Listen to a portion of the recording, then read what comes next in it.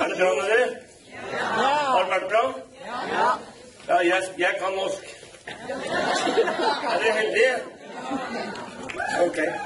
Jeg skal uh, kort om meg sjøl. Leif Døhlen heter jeg. Jeg starta 2. august i 2017. Er det noen som har opplevd å få nei noen gang når man snakker med folk? Bare fortsett å mase på dem. Geir ringte meg, og så sier han at du Leif, du må være med. Vi får en tur til bare Budapest. Nei. Og så ringte han jammen meg igjen. Og jeg sa nei, Geir, jeg er ikke interessert. Og så ringte han igjen og sa herregud, du må være død. Fjerde gangen så sa jeg hyggelig ja, så sign meg inn. Og jeg angrer ikke på det. Takk skal du ha, Geir. Så det ikke gi opp om vi får et nei Nei er egentlig begynnelsen på en, en, altså et snakk, en videre samtale. Det er verre om noen bare skal prøve. Har det noen som har sagt du skal prøve først? Er det noen som er ute og flyr her av og til? Så sier kapteinen vi skal prøve å ta av. Da blir jeg litt usikker. Når jeg begynte her Jeg har ca. 30 års erfaring pluss med nettverk. Dette er det beste selskapet jeg har vært i, helt ærlig. Fordi at uh, nå er jeg hjemme igjen. Jeg har vært i et selskap i 10-11 år. Stortrivdes, slutta med det, begynte med noe annet. Men nå er jeg hjemme igjen, for nå, nå driver jeg med helse igjen. Og målet mitt er å reise, og det skulle starte med i 2019. Og vi har vært i Egypt takket være Ray. Så et tips til dere. Lag dere en drømmebok, en målbok, hvor dere, hvor dere vil hen, og sett datoer. Jeg har ikke nådd datoene helt riktig, men det spiller ingen rolle. For hvis jeg ikke har laga en plan, så hadde jeg aldri nådd det.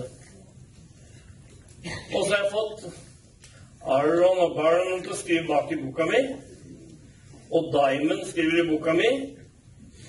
Og Keskis har skrevet boka mi. Det er mitt, mine mål. Står her. Det jeg har lyst til å snakke litt om, er um, closing av avtaler. Er det noen som sier det er vanskelig å close avtaler når dere har en presentasjon? Eller er det lett? Det er vanskelig. Ja. Er det noen som kan tenke på hvorfor det er vanskelig? Nei, det, det, er at vi er så opptatt av å Så tenker vi mye at å, det er ikke så lett. Kanskje han ikke blir med. Noen som har tenkt det noen gang? Ja, da blir han jo ikke med. Dere må bestemme dere før dere går inn at personen skal være med. Vet dere hvorfor? Men fordi at du ordlegger deg på en helt annen måte enn om du tror kanskje, for da skaper du en usikkerhet. Hvis du bestemmer deg på forhånd, så får du folka med deg. Jeg closer ikke alle avtalene, kun 99 Så det er noen som sier nei uansett. Men jeg er veldig nøye på det å stille spørsmål og finne ut hva folk egentlig vil. For det er ikke min vilje som skal fram. Det er prospektets vilje. Jeg tenkte jeg skulle gjøre litt Noen har sett jeg har gjort det før. skal jeg forklare litt på hvorfor. Er det en eller annen som kan komme bare hit fram, som kan spille kort? Hvis jeg ikke har noen strikkboker eller noe sånt, så bør du være redd. Er det ingen som kan kortstokk? Veit du hvor mange kort det er og sånne ting? Da kan sånn komme. Inn da, Braut.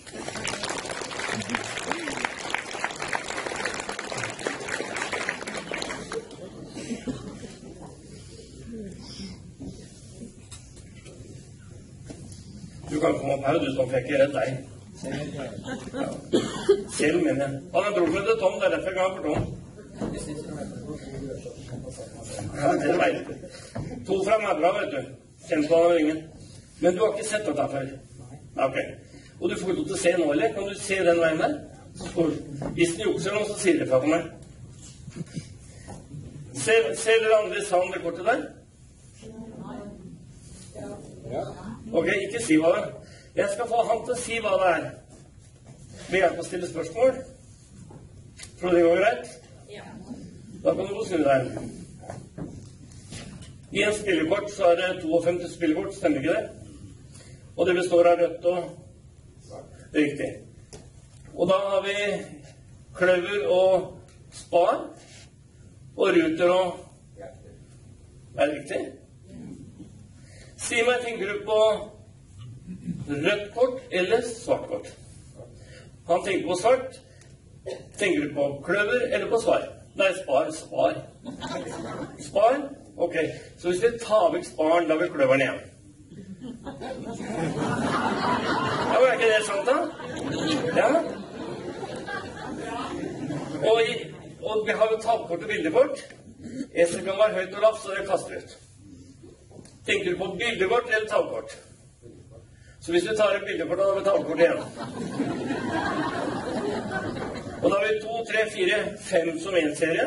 Seks, sju, åtte, ni og ti som én serie. Høyserie og lavserie. Tenk på høyeserien eller lavserien. Hvis du tar den lave serien, må du høyserien igjen. Fem, ja, fem.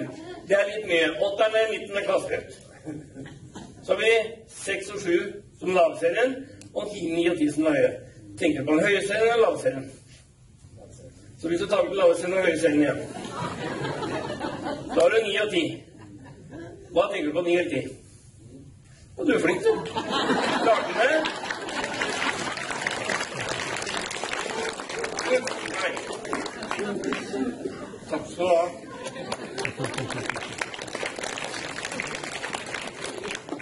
Hvordan klarte vi det? Hvordan klarte vi det? Ledende spørsmål. Ja, men før det Ja, det også, men, men før det før, før han kom opp Eller han var her oppe. Vi så på kortet, ikke han. Så jeg visste svaret. Det er lov å se på kundene deres før dere tar en presentasjon. For det andre. Når jeg er med og skal ut og presentere, så stiller jeg alltid spørsmål Vet du hva de liker? Så er spørsmålet er det bedre helse eller bedre økonomi de er ute etter. Så jeg spør alltid kan jeg få stille et spørsmål, og så tier jeg helt stille. Og det, det, har jeg ikke fått nei på ennå. Og da jeg hva er viktigst for deg. Er det bedre helse eller bedre økonomi? Og så tier jeg stille igjen.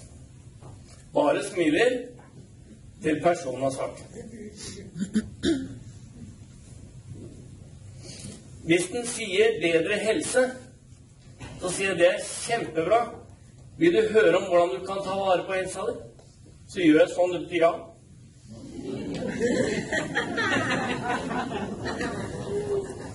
Og det kan du se på hvis jeg står og gjør sånn, så begynner hele salen til å sånn. Så det er litt trim på nakken og sånne ting. Når han forteller, og så sier i tillegg til å få bedre helse, ja, så kan du tjene litt ekstra penger dersom du ønsker. Hvis en sier ja, jeg trenger penger, så forteller jeg om muligheten, og ser du, i tillegg så får du bedre helse. Vi får jo begge deler. Men valget må være deres. Men du må finne ut hva de vil ved hjelp av å stille spørsmål. Er det noen som har hørt det ordet de sier at det er for dyrt? Ja, hva sier dere da? Ja, selvfølgelig. Det er det. Da sier vi for dyrt i forhold til hva? Siste som stiller spørsmål, vinner. Det er litt sånn at vi gjerne stiller spørsmål, så tar det litt lang tid før de svarer. Har du vært med på det gang? Ja, veit dere hvorfor, da? Vet du hvorfor det tar lang tid? De finner ingen grunn til meg. Og så er det skal, skal ikke, skal, skal ikke, skal, skal ikke. Hvis dere lærer til det når dere er ute og presenterer, still spørsmål. Og så er det kritiske som kommer, det er å tie helt stille. Også litt som noe som kan føre deg det der å bli Ikke bli lege. Ikke begynn å forklare altså Se om du har god, god kunnskap. Jeg veit jo det at Else Marie er jo veldig god med Der sitter du der. Med helse og ernæring. Hvis hun propper ut alt det hun kan til en person, da skremmer hun den personen. For han tror han må gjøre det samme. Men bare still spørsmål, og så får du alltid svar tilbake. Og da bare stiller du spørsmål tilbake og bruker det han sier.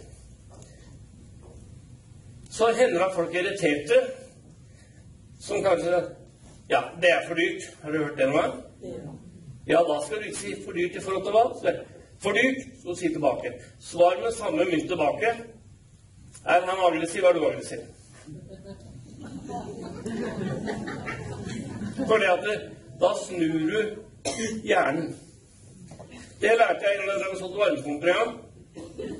Han forklarte en og annen om at han kunne spare penger, og det ville han ikke skjønne. Og da spurte han og håper ikke tar i deg, han spurte er, ingeniør, er du ingeniør eller lærer. Og det var min første opplæringstur med han. Og da sa han jeg er ingeniør. Jeg skjønner det, sa han. Du skjønner ingenting. Skylapper, han skjønner ingenting. Og denne mannen, han var liten, han. Litt høyere enn meg. Men så snudde han, og da sa jeg trodde han skulle bli sint. Nei, sa han Terje. Du må alltid snu dem hvis de er envise.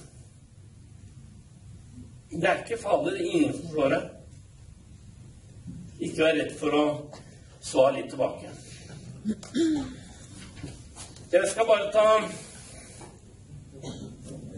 én ting som jeg tenkte å ta før jeg skal gi meg. Det er eh, Jeg jobber med Det heter jo egentlig ikke Jeg husker ikke ta navnet, men jeg kaller det psykisk utviklingshemma. Men det skal du ikke kalle dem i dag. Det er et annet ord. Jeg er veileder for dem. Det er herlige mennesker å jobbe med. De sier aldri nei. Er det noen som jobber i politiet her? Nei. Hvis det er en som jobber i politiet og sier nå må du reise ned dit og ta og gjøre et eller annet, så spør han ikke hvorfor skal jeg det, nå? Han sier ja vel, og så gjør han det. Og sånn er de gutta. Gjør sånn. Ja vel, og så gjør han det. Det er ikke nødvendig med så mye forklaring. Og når jeg presenterer, så bruker jeg ikke lang tid på for å close avtalen. For det er bedre å sitte tre kvarter etterpå og prate med personen enn å bruke tre kvarter og så ti minutter igjen hos personen. Skjønner du hvorfor? Da har du tid, og han forstår at du ikke prøver å lure. Close dealen så fort som mulig. Ta deg til tid til å sitte og prate med personen etterpå. Det var en eh, klok eh, Nå må jeg ta meg brillene, for nærsynt òg. Eh, klok cherokee-indianer. Han satt og pratet med barnebarna sine litt om livet. Og sa han, 'Jeg har en stor kamp inni meg.' Det er en kamp mellom to ulver. Den ene ulven står for frykten, sinne, misunnelse, sjalusi, sorg, anger, grådighet, arroganse, selvmedlidenhet, skyld, avsky, mindreverdighet, løgner, stolthet og overlegenhet. Den andre den står for gleden, fred, kjærlighet, håp, deling, godhet, ydmykhet, snillhet, vennskap, empati, sjenerøsitet, sannhet, mildhet og tro. Den samme kampen skjer i meg, og det samme skjer i deg. Og med alle andre mennesker. Barna tenkte litt. Og så spurte de deretter sin bestefar hvilken ulv vil vinne. Hva tror du han svarte da? Den du mater. Ja, det er helt riktig. Og det er sant. Når vi er redde for å ta opp telefonen, er det som har telefonskrekk? Eller er det bare meg? Det er bare deg, Leif. Det er bare meg. Ja, men jeg syns telefonen kan være tung. Så jeg har tenkt på å få tak i noen sånn uh, talje til løftet opp. Men det er sant, det. Den er veldig tung. Er det noen som kjenner seg igjen? Er det noen som har skrevet navneliste? Hvor mange her har skrevet ned navnelista si? Mange syns det er lett å ringe på den. At du, det, du teller ikke.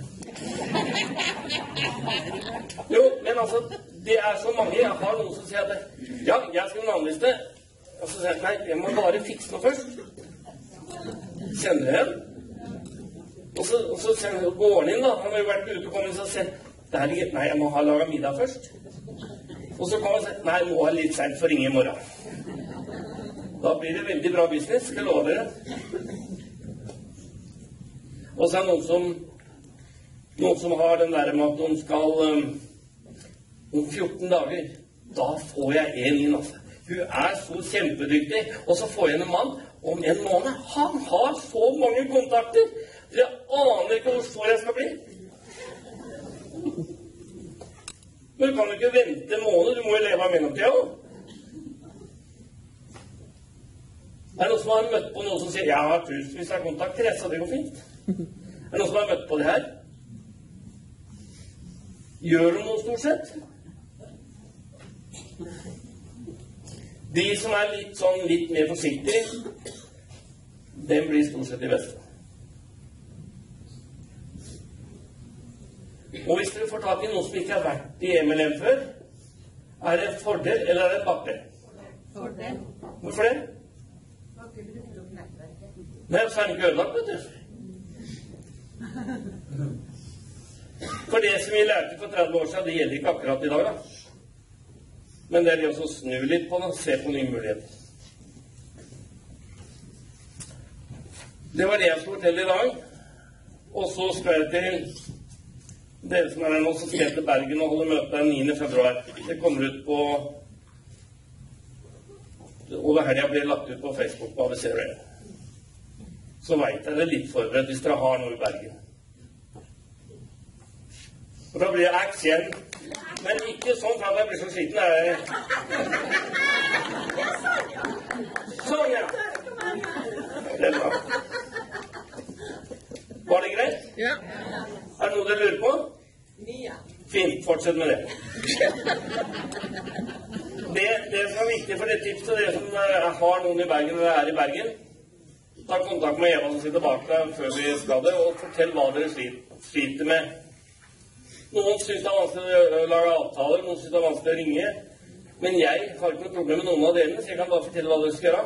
Men det er greit å vite hva dere lurer på, ikke hva jeg bare kan. For jeg er der for å hjelpe dere. Takk for meg.